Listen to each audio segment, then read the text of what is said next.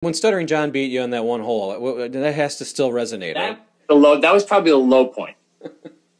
that was the that was the low point. But you could tell the anger. You could tell the anger was there for real. Oh, I was you know I was I was pissed. Uh, you know, I mean, um, but but you know it it happened. It was you know it became part of the legend of the show. I guess not the you know I mean not the legend of the show, but it just became you know one of those things that was part of the show that. Uh, that added to it. And um, so, but no, I, I that's that was probably the low point of my golf career. The low point of my professional career um, was losing to golf losing at golf to Stuttering John that night. But then you could just have a nice, fun contract negotiation where you don't offer him anything, right? And that made him mad, and you kick him out of the.